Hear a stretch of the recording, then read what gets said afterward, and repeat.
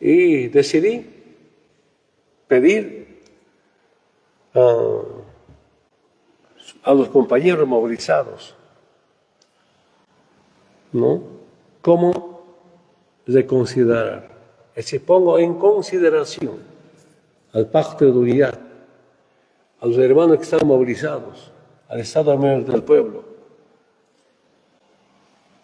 analizar el cuarto intermedio del bloqueo de caminos, justamente para evitar hechos de sangre, evitar problemas económicos.